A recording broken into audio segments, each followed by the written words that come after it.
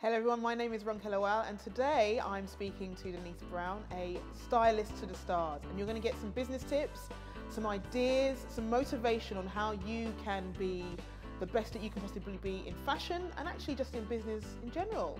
So thank you for tuning in and enjoy the next interview.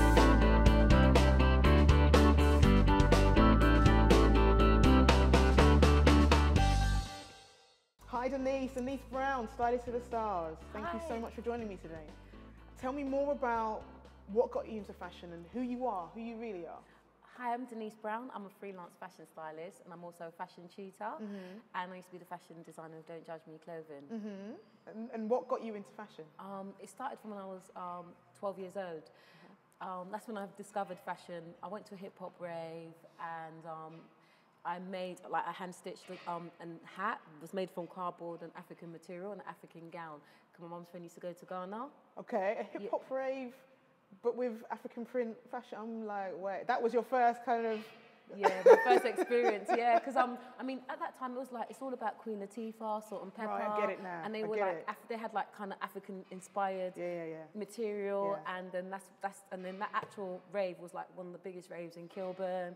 Oh Um, the DJ was Mark. Um, it was Mark Ronson. No, not. Oh, sorry. I was about to say. Oh no, no, I forgot his surname. Sorry. That's all right. No, no, no, I forgot his surname, but he was like a really big, massive hip hop DJ.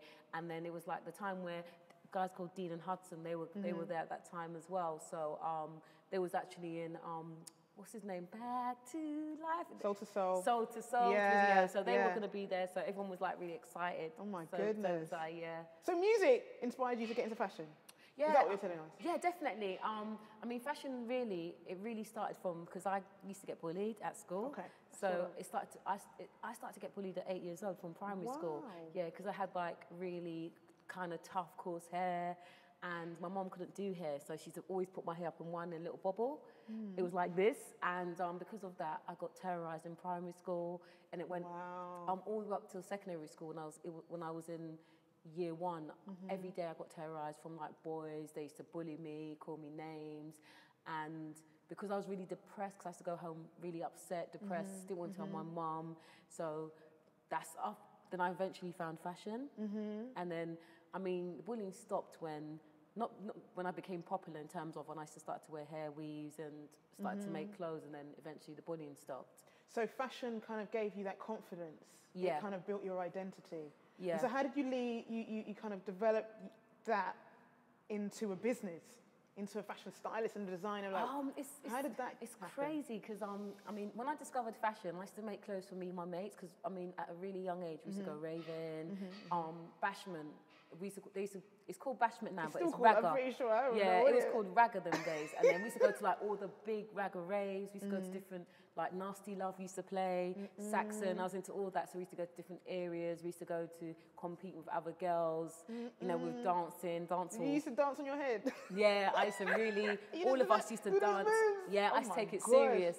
And my mom, because my mom's Jamaican, Uh-huh. she used to bring back a lot of dancehall videos. So we used Okay. to practice and see what Okay. kind of moves we were going to do. And then we used to go, yeah, it to be amazing. But the really good thing about that is that I was able to, I was the one that was in charge. So I had to pick like the theme in terms of what we're going to wear. So if we're going to make like satin, I'll probably wear satin batty riders with the bra top. My mate would wear trousers. Like everyone had their own little unique kind of style. It was more like a, it was, we was in a, we was in a gang, but we was more like, it was like more like a group.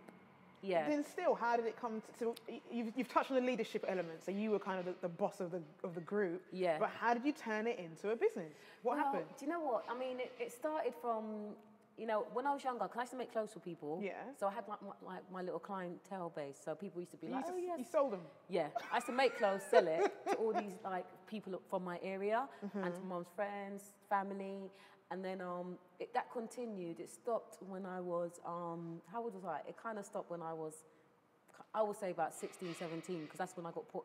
When I was 15, I got put into care, so I was Okay. all over the place. So for the past like Wow.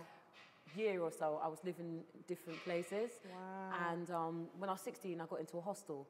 So then I went to Lewisham College and I kind of stopped making clothes for people because I was really depressed. So I was suffering from depression and I was really stressed at that time. So all of that stopped, but I kind of like um, decided to, you know, go back for it. But it was in my 20s. Wow. Yeah, so throughout all that, you know, I got into a lot of I did a lot of criminal activities, Oh and I was really bad, and I was going through a lot of you know changes in my life as well. Uh-huh. Yeah. Your journey has been something else, and you've survived this to become, I would say, one of the most influential fashion stylists in the UK. Potentially the world. We're hoping after this, the yes, world. Yes, I wanted to be the world. So, kind of talk talk us through how you've come from what it sounds like to me, some levels of hardship, Mm. Into the woman you are today, into a businesswoman, a, a fashion stylist. I mean, you've, you've talked about the designing, but what what did it take for you to really rise above? What did it take? Do you know what? It's crazy because my life was quite hectic in terms of my mum was a drug addict. So by the time I was 14, she became a drug addict. So she My lost her property. Wow. And I, I was living a life for years. So I was pretending that everything was okay at home. So, because I had like, I was in a gang, we used to go on the streets, we used to terrorize the streets of London because we were just all angry because we, all of our mums had like either mental illness, they was on drugs, and we had no dad because we didn't know our dad. Wow. And um, basically, when I got taken away, uh, I remember getting taken away. I got put into two different homes, and both of their mums were drug addicts. So my life was it's always been hectic. Never did my never got no GCSEs. Only got one because um, yeah, just got textiles. So it was just crazy. But when I went, I mean, what I did, I didn't want to stop because I wanted to be the next Versace. You know, when it's like I want to be hearing it. Versace. I'm hearing it. I'm I want to be hunger. Versace. So I went to like. Not I even went a British designer. You no, went all the want to way be to Versace Italy. Oh I love Versace because he did that kind of. He had this kind of gold. You know when they had the, he had gold. Everything Yeah, was gold yeah, yeah, buttons, yeah, yeah, and because. I was The into opulence. Yeah, I was into the gold. I was into the bashment scene. A lot of you know us. Will, we like to wear big gold ear from hip hop. You wear the knuckle duster earrings, which was gold. Everything was like the Mm. rings, knuckle duster rings, the sovereigns, everything. The big chains were gold. So I, I loved Versace. So um, I went to Lewisham College, and eventually I did um, work experience after that for a few years. Mm-hmm. But then I got pregnant with my son, and then Mm. that kind of held me back. But I still didn't make it hold me back. Then I ended up um, doing work experience for a lady called Sherry Mm-hmm. Lamar.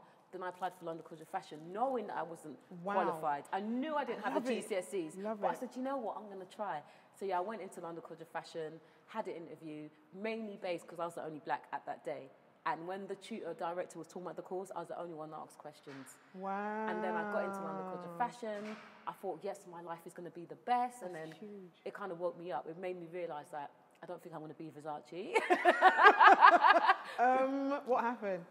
Do you know what? It was weird because London College of Fashion is more like a middle class uni college for like people who's got money. Okay. And Okay. I wasn't that typical London College of Fashion student. I had I was a single mum.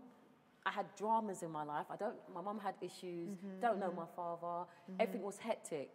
So um, I just didn't fit in in terms of like we had to do like these art exhibitions, Mm-hmm. drawings. That wasn't really me because my thing about fashion is that I had it in me. So I used to just sketch and go Mm-hmm, out there, make. I didn't really make patterns. I just used to design, draw, and try and make. And I just made the pattern out of my head. Mm-hmm, And then when I went there. I just didn't feel comfortable in there because there was a bit funny towards like students like myself. Mm-hmm, that was like I was, you know, because I wasn't like it was a You were bit- different. yeah, You were and they were like, "Oh my God, Denise, it's you! If I knew I was going to have you last, at, you know, the one-to-ones, I would have had you first because you've got so much energy, and Mm. they didn't used to really push you." And I used to have this design student. I mean, sorry, tutor. I remember her name. Her name is oh God, she's still a tutor. I'm so upset. Mm-hmm. Oh, I forgot her name. But she used to say to me, "I think you should be a nurse." Oh wow! So she tried to push you into her Yeah. Kind of way of think, like she what she assumed you should be for her. Yeah. what she's used to. Okay, Because I'm um, kind of. she just put me down in front of everybody. Was design class because I used to be so Oh. quite. Even though I was a bit loud and I was out there on road, in there I felt so in- intimidated. I didn't have a voice. So yeah, it was Mm. crazy because you feel like you have to kind of be a certain type of way to fit in. Do you understand? Conform. And like, um, I remember her asking me, "Oh, Denise, what did you do?" Because I said, "Oh, I didn't Mm-hmm. do nothing," because I felt a bit intimidated because everyone was looking at me, I never used to like talking in front of a room. She goes, "Oh, you should be a nurse," and I thought, "What? You're so rude." So it was her judgment. It was okay. What we're getting here is about the judgment, Mm. and it was about that kind of being forced into a corner to conform. Even though, ironically, I would have thought fashion is about non-conformity. It's about expression and Mm. being unique and different. But what you're telling me from the journey you've had is people try to judge you and box you in. To- Yeah. To, to, to what to their way of thinking, particularly given your background, your race, your gender. That's what they were thinking, right? Mm. Yes. So how did you break out of that? So outside of the education system, You've managed to work with some of the most amazing celebrities and stars and publications. What, how did you get away from being labeled, you know, a nurse or a single mom, somebody who should be a nurse? Nothing wrong with being a nurse because I think nurses Yeah, are amazing, yeah. but so, you know, a single mom who came from the bottom, so to speak, to now working at the, you know, the highest highs of fashion. hunger. I was Okay, passionate. Because you know what? I don't know. Because when I was younger, I used to have this this thing in my mind like I want to be the best. You know, from when I was young, I was like. I don't want to be like my mom. Mm-hmm. I don't want to be like the people around me. I want to be successful. And I had that. Love it. I don't care how I'm going to get there. Say it again. And you know what? It was so it. it was so different. Even though I was like on one side, I was a criminal. Like I'm just being honest. I used to do all sorts of madness. But on the other side, I had a really great personality. So what used to differentiate me is that if I go for a job interview, I'm going to get that job. That's a per- that's the uh, I used to Your think. mindset. My mind. I want to get that job. And I used to always. I've worked in Selfridges, Harvey Nichols, Karen Millen, French Connection. I you know I started to do retail at 15 years old, and every time I worked, people used to like me because I'm a people's person. And from from then on, what helped me is because when I used to work for Selfridges. I remember seeing people, oh, what do you, what, you know, when they say, oh, I need something to wear, I ask them about, oh, what do you do? And, you know, I, I even used to use my work to network. Do you understand what I'm saying? Love So it's all about networking. And I took risk. So what got me to be a fashion stylist was um, when I was graduating, I got nervous thinking, oh my God, what am I going to do? And um, I bought a gift box, a silver gift box with pink tissue paper. And with my final collection, I had did like a five piece final collection. And then I sent it to Black Hair and Beauty magazine, and I mm. and it was like to the director, the fashion director. So she, so she, oh, she obviously opened it up because she contacted me. Just I want you to do work experience with me because I knew I had to come. I had to think out the box. Do you know what I mean? And that's how I got into fashion styling. So what it comes down to then is it's really down to, to you as an individual. And I think it's the lesson that anybody who's watching mm. really has to come away with is the fact that no matter where you've come from, because you've you've struggled, you've had bullying in your life, Yeah. you've had some parental difficulties, you went into care, you know, um, you know, early single motherhood, right? No, yeah. And a young single motherhood, you've gone through a lot, and you had some it was dyslexia, right? Yeah, I'm just, uh, I've got Oh highly dyslexic. I found out about three years ago because I used to have. So you didn't even know going through education that you no, had. I this was, is it. yeah, it's crazy. I never used to Wow. could write, so that's the reason why even the level that I felt like I should have been on, um, I couldn't because if I went out to an event, I'll network. People like, oh my god, we like you. Email me. I never used to email them because I didn't know what to say in the email. I didn't know how to express myself via email. So that was always my problem. So, but I found out for about three, four years ago when I did my first year teacher's degree and I got super depressed. And then I went for a test because I couldn't do the course. I So couldn't des- it. despite all of these struggles, you've got to te- tell us who you've worked with because this is amazing. Like everything you've said to me right now is really, really proving that point about mindset. Mm. That no matter where you find yourself in life, as long as you truly believe, and it's got to be, it's got to come from you because I- I'm, I'm sure you've had role models and mentors, but it, it really does come down to you. So who have you, who have you managed to work with?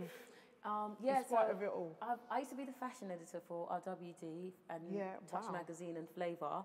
And um, I've styled like uh, Kanye, T.I., Ed Sheeran, Tinie Tempah, Dropping um, those names, dropping those names. DJ pick, the, pick the names up. Are you Eliza serious? Doolittle. I've styled like 30 celebrities, over 30 celebrities. Yeah, and I've Go on, sorry, I Oh just, no, no, I'm getting fine. so excited. I'm And I've like, also worked freelance for other fashion magazines, including like Vogue, Cafe, Fault Magazine, Time Out. So I've worked with different type of magazines as well. how do you do it? What's the secret? Because I'm sure Mm. somebody's watching this, they want to be a fashion stylist or a fashion designer or get into fashion. How do you do it? So basically, what I did, I, I started again. When I finished um, London College of Fashion, fashion design and fashion styling is so different. So I decided that I just did work experience. So I did work experience for nearly two years with a stylist, and I made her tea. I picked up her rubbish. I took her, you know, when she shouted at me every day, uh, grief. But I had, because I really wanted it so much, I did it. She used to put me down on a day-to-day basis. I used to go home crying. It was very deep, but I really wanted it, and um, that's what I did. And then after that, I took a risk, and then I um, started to contact magazines, and I did test shoots. So basically, got like a model, Mm-hmm. hair, said. makeup, did my test shoots, and then I started to contact magazines, like you know, this is my work.